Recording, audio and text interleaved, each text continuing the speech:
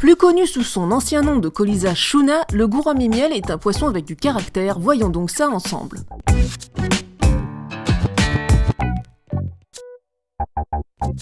Le Trichogaster shuna fait partie de la famille des Osphronemidés, une famille de poissons proche de celle des Beta splendens avec qui il a de nombreux points communs, notamment son mode de reproduction. C'est un poisson tropical d'eau douce originaire d'Asie du Sud-Est et principalement des petits cours d'eau d'Inde et du Bangladesh. Son nom commun, Gourami miel, fait bien entendu référence à sa couleur orangée, mais il existe aussi des sélections albinos et rouges. C'est un poisson évoluant plutôt proche de la surface, sa taille adulte est d'environ 5 cm.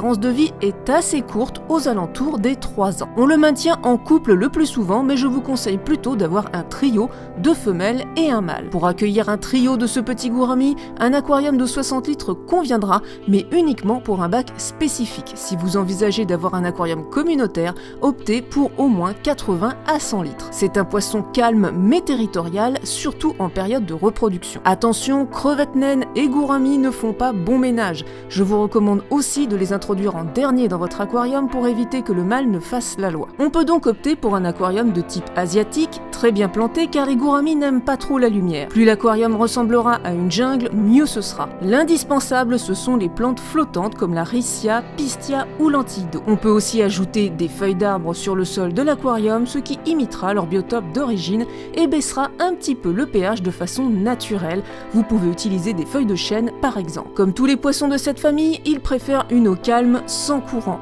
Le filtre de l'aquarium devra alors être réglé sur son débit minimal et sans faire de remous de surface. L'utilisation de pompes à air, de bulleurs, est aussi à proscrire. Les gouramis ont la particularité d'avoir un organe de respiration auxiliaire appelé labyrinthe et qui leur sert à respirer l'air de surface quand l'eau n'est pas assez oxygénée. C'est que dans leur milieu naturel, ils vivent dans des eaux boueuses, troubles, peu profondes et pauvres en oxygène. La visibilité étant difficile dans leur milieu, les gouramis ont aussi développé des nageoires pelviennes en forme de filament tactile qui leur permet de s'orienter en tâtonnant. Les gouramis miel sont omnivores et acceptent tout type de nourriture, flocons, granulés pour petits poissons tropicaux, mais aussi artémia, daphnie et larves de moustiques congelés ou vivants. Comme toujours, un poisson en bonne santé est un poisson dont on a varié la nourriture. C'est un poisson tropical, il lui faut donc une eau chauffée entre 24 et 28 degrés, un pH légèrement acide entre 6 et 8 et une eau relativement douce entre 5 et 10 degrés GH. La reproduction en aquarium du tricot Gaster Shuna est très facile. D'abord, reconnaître les sexes. Le mâle est bien orangé avec un liseré jaune sur la nageoire dorsale et un liseré noir sur la nageoire anale. Alors que la femelle est plutôt beige nacré avec une ligne brun clair sur le flanc.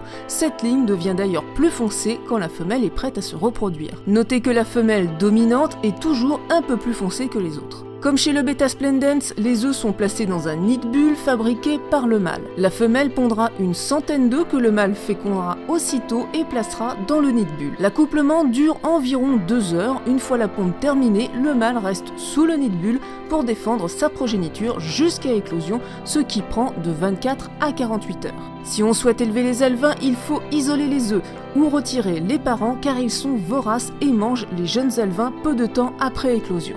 Il faudra par la suite nourrir les alevins au d'Artemia 4 fois par jour en quantité suffisante. Les petits sont très sensibles à la qualité de l'eau les premières semaines, des changements d'eau très réguliers favoriseront le taux de survie. Et voilà pour la fiche fiche du Colisa Shuna. Si ça vous a plu, pensez au petit pouce bleu et si ce n'est pas encore fait, abonnez-vous à la chaîne pour ne pas rater mes prochaines vidéos. D'ici là, si vous souhaitez découvrir d'autres poissons, n'hésitez pas à cliquer sur la playlist Fiche Fiche. On se dit donc à très bientôt. Bye bye